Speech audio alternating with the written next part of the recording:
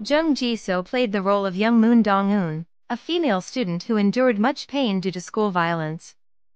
We have forgotten how difficult it was for Jung Ji-so to portray Dong-eun when she was young. She was clamped with a hairpin by a group of bullies on her hand and foot, beaten by her homeroom teacher, and had to endure exposing her body in the rain.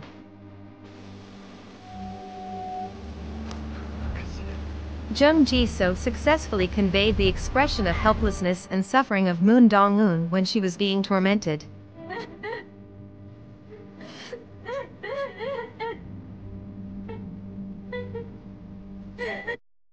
Jung Ji-so's appearance drew attention as she had many similarities to Song Hye-kyo. Therefore, viewers appreciate the wise choice of the crew in casting Jung Ji-so for the young version of Moon Dong-eun.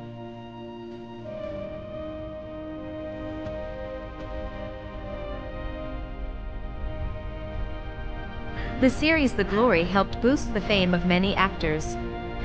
This girl born in 1999 deserves more attention.